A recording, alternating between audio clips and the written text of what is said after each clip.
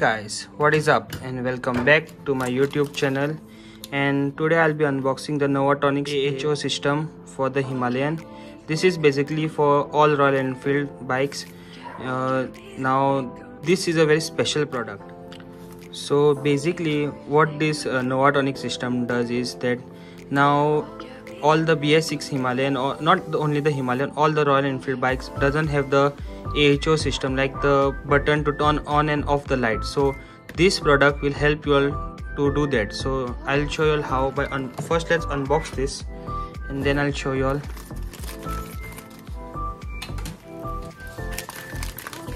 Okay so this is the product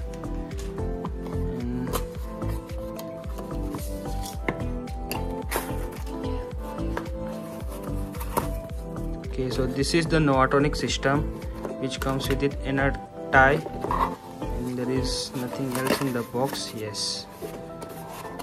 So basically this system you see this is the main part. So this this is just plug and play system. This fits to the left hand side uh, the pass light uh, coupler so the male and female and there is no wire cut and all. It's directly plug and play and once you install this you just need to press the pass button for 3 to 4 seconds. Then the light will turn on and if you want to turn it off then you have to press the pass button again to turn it off.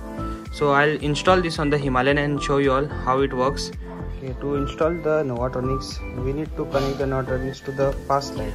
So to do that you, can see this wire over here we need to install it for this wire so to do that we need to remove the tank. And let's remove the tank first and then I'll show you all how to install the Novatronix so you can see the many couplers over here. You need to install the Novatronix to this coupler right here. You need to remove this coupler and fit the Novatronix I'll show you all how to do that also.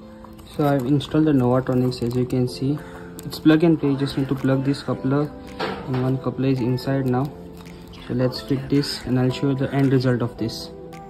To turn on the headlight you just need to press the pass button for 5 seconds and leave it. And then after leaving the pass button you can use your higher beam and low, lower beam button to toggle for higher beam and lower beam. And this is how it works.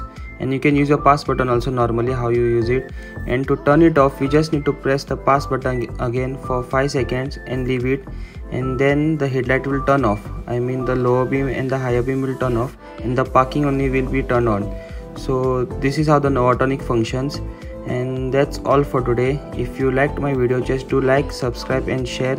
Thanks for watching